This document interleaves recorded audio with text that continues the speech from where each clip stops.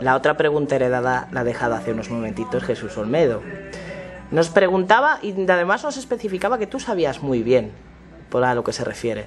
¿De dónde sacas tanta energía para entrenar como una gladiadora? ¿Qué tío? Pues porque, no lo sé, me encanta el deporte y, aunque vaya, vaya, cansada me gusta la caña, me gusta que me hagan sufrir en el gimnasio, no fuera. Y me renueva, me desbloquea el cuerpo, me, me gusta. Pues en esa, en esa misma línea nos gustaría que nos dejaras una preguntita para Sergio Pérez Mencheta. Para Sergio Pérez Mencheta, ¿por qué no retomas las gincanas que hacías? Mm, qué buena pregunta. Ah, en esta parte de la entrevista, ya para ir terminando tu, caja de música, es la pregunta Miguel de Unamuno, es una pregunta indispensable dentro de la caja de música. Ah, Miguel de Unamuno hizo una gran novela donde los protagonistas visitaban al autor. Si tú tuvieras la oportunidad de que por esa puerta entraran todos y cada uno de tus personajes que has interpretado, se pusieran delante de ti y te miraran a los ojos, más especialmente este último, en la verdad, ¿qué te dirían? ¿Qué le dirían a Kiramiro? Supongo que algunos me, me agradecerían mi trabajo y otros me tirarían tomates. otros me dirían, ¿qué hiciste con nosotros? De todos los personajes que has hecho algunos secundarios, ¿cuáles darías más vida? ¿Cuál hubiera, te hubiera gustado dar más recorrido dentro, de, dentro de super, del recorrido que tuvieron dentro de la serie o del cine? Hombre, me hubiera gustado... O sea, ¿qué personaje que hice, que hice yo corto me eso hubiera gustado? Eso es, hacerlo más largo, más, más recorrido, más vida. Eh, Lex. El Lex me hubiera gustado que, porque ahí había mucha... mucha, muchos personajes maravillosos y, el mío me gustaba también y me hubiera gustado que, que continuara. ¿Piensas que existe la verdad absoluta? No. ¿Qué tipo de verdad nos vamos a encontrar en la obra de teatro? ¿Qué tipo de verdad? Esas mentiras que se convierten en medias verdades, o como decía María, bueno, si me vas a mentir, miénteme de verdad, ¿no? Como decía aquella frase famosa. Claro, si, va, si mientes, miente a muerte y y no me hagas daño. No, si tu verdad me va a hacer daño, miénteme. En tu crecimiento profesional, ¿qué te ha aportado la verdad? Uy, pues mucho. Trabajar al lado de José María es un sueño, ¿no? Que, todos tenemos cuando empezamos con, el teatro y, y pues tener a, a, ese pedazo de hombre de partener cada noche te da muchas tablas, te ayuda a estar muy concentrada, a estar alerta, a escuchar de verdad, no hacer que escuchas, sino estar en situación de verdad y no sé, yo estoy muy agradecida de, cada noche estar ahí. Lástima que con Aitor y con María no compartimos escenario, pero bueno, compartimos camerino que, que está muy bien. ¿Tienes Twitter? que es desde hace poquito. Desde hace poquito y además nos sigues, muchísimas gracias. Si tuvieras la oportunidad de mandarle un tweet a esa Kira Miró de Desesperado Club Social, ¿qué le dirías a esa Kira Miró? Ay, a la Kira Miró de Desesperado Club Social. Eh, que Ay, qué difícil. Es que me hacen una pregunta difíciles. Eh, no sé cómo, cómo se toma, eh, qué se siente en el primer trabajo de tu vida, cómo, cómo lo sientes, cómo lo vives, la primera vez que te pones ante unas cámaras con un equipo profesional. Y si tuvieras la no te da vergüenza hacer todas las ridiculeces que tienes que hacer. ¿Sigues ah, teniendo esas sensaciones de la primera vez que pisaste un escenario? ¿El qué? Eh, esos nervios, ¿no? De pisar un escenario la primera vez que, ah, no sé si recordarás, la primera vez que se encendió el pilotito rojo y dijeron acción, ¿sigues conservando ese miedo, esos nervios, esas mariposas? Sí, y me encanta tener esas mariposas. Y quiero que no se vayan nunca porque es lo que me hace sentir viva. Si no me pusiera nerviosa, no sé, no, no, para eso me voy a, otro trabajo.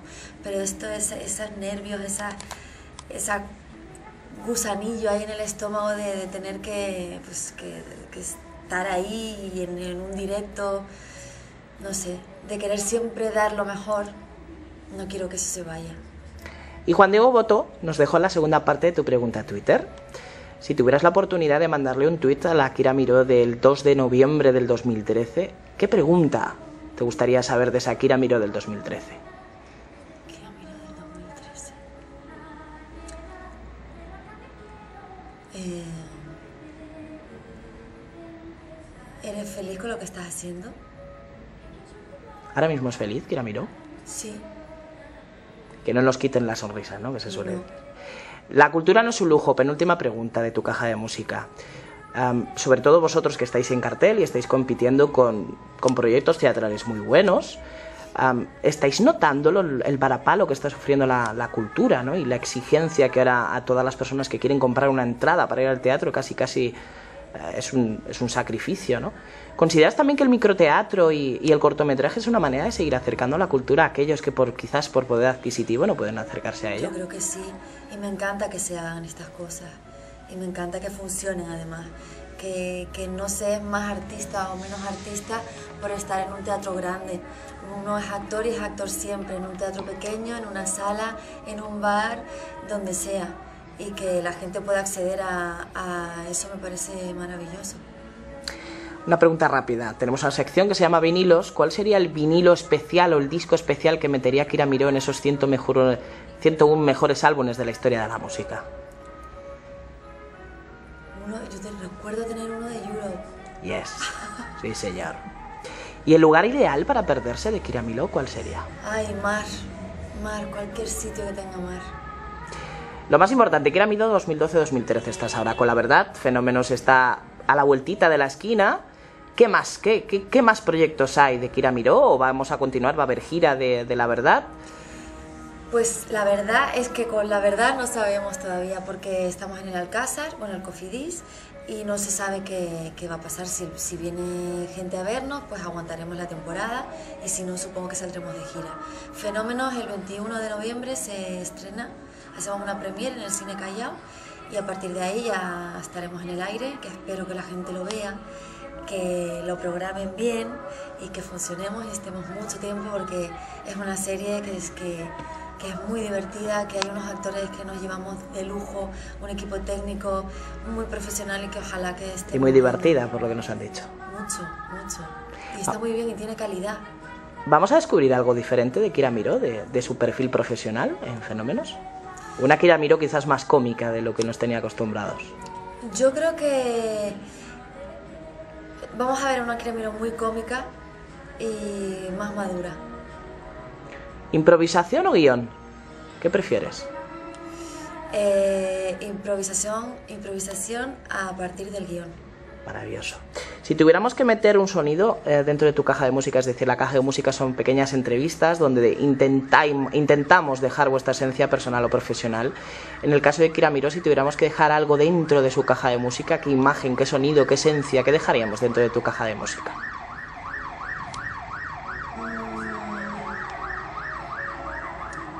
¿Alguna canción especial? Dice, lo que tú quieras dejar de... No, no, lo que tú quieras dejar dentro de tu caja de música como esencia de Kiramiro sonido del mar, de las olas rompiendo.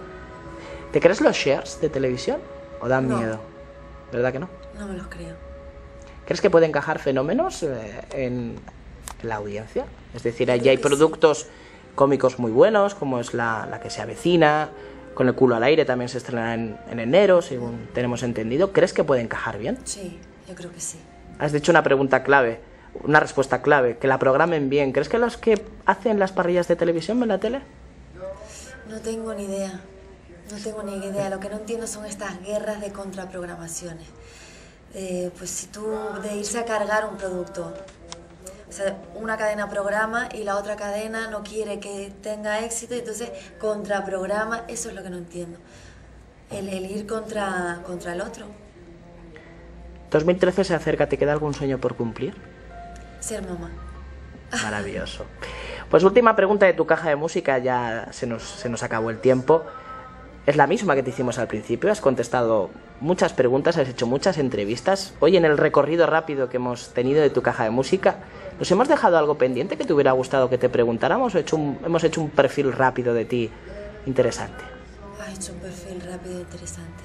Me alegro. Pues simplemente decirte, Kira, que es un lujo, es un placer tener a gente con tanto respeto reverente por su profesión, a por ese cariño que tenéis eh, al público con todo lo que hacéis. Que esta sea la primera de muchas cajas de música, porque eso significa que la verdad sigue triunfando, porque aquellos que la hemos visto es maravillosa. Gracias. ¿Qué fenómenos va a triunfar? Porque el elenco y dentro de, dentro de ese elenco hay muchos amigos de la caja de música.